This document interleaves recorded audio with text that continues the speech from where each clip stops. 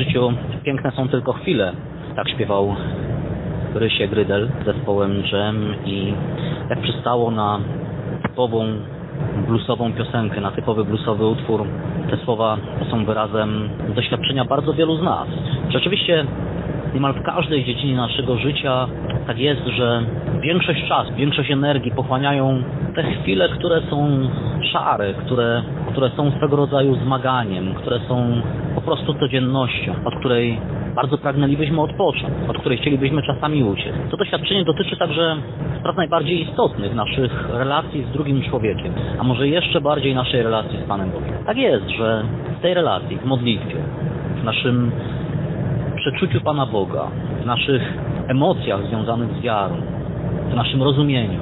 Czujemy się dobrze tylko czasami. Najczęściej zaś ta relacja to, to zmaganie się o nią, to zmaganie się o to, aby jednak nie poddać się na drodze modlitwy, nie poddać się na drodze postu, nie poddać się na drodze e, poznawania teologicznego, na drodze miłości bliźniego, na drodze miłosierdzia. To było także doświadczenie uczniów z dzisiejszej Ewangelii. Doświadczenie tych, których Jezus zabrał na górę Tabor. To była chwila niesamowita.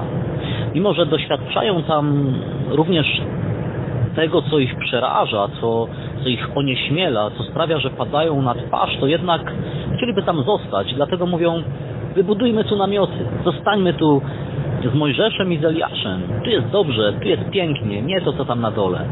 A Jezus mówi, schodzimy. Schodzimy. Jeszcze, jeszcze więcej mówi, nie mówcie o tym, coście tu widzieli, aż do czasu zmartwychwstania. Słowa, to wydarzenie, które dziś nam jest przedstawione przez Ewangelię, przez liturgię Kościoła, dociera do nas na naszej wielkopostnej drodze, aby nas wezwać. Po pierwsze do tego, abyśmy doceniali i zachowywali w pamięci te wszystkie piękne chwile naszej wiary, piękne chwile naszych relacji, piękne chwile naszego zawodowego życia, każdej dziedziny życia. Miejmy je w pamięci. Nie zapomnijmy o nich, bo one mogą w chwilach najtrudniejszych stać się szansą na to, że powiemy, nadejdą jeszcze chwile piękne.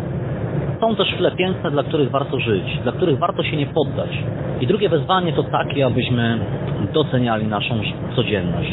Bo to była także codzienność doświadczenie, to było także doświadczenie Jezusa i Jego uczniów, Piotra, Jakuba i Jana.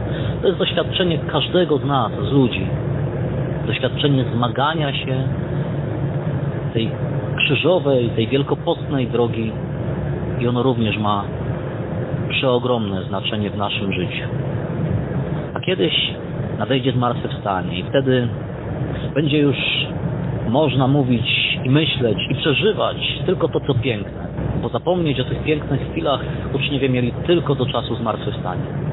Będzie taki, taki czas, a może nie czas, bo właśnie czas wtedy zostanie przemieniony, ale nadejdzie to, co ostatecznie nas spełni. Zmartwychwstanie.